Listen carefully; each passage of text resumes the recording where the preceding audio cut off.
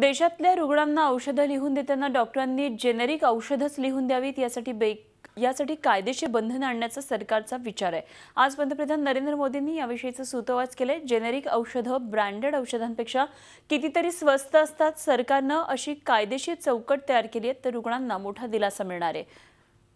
सुरत दौऱ्याच्या दिवशी पंतप्रधानांच्या हस्ते एका खासगी धर्मदाय रुग्णालयाचं उद्घाटन झालं आणि त्यावेळी ते बोलत होते. आम्ही असा कायदा आणू की जर डॉक्टर बाहेरून औषधं लिहून देणार असतील तर ती रुग्णाला पुरेशी आणि जेनेरिकच असायला हवीत असं मोदींनी यावेळी स्पष्ट केलं.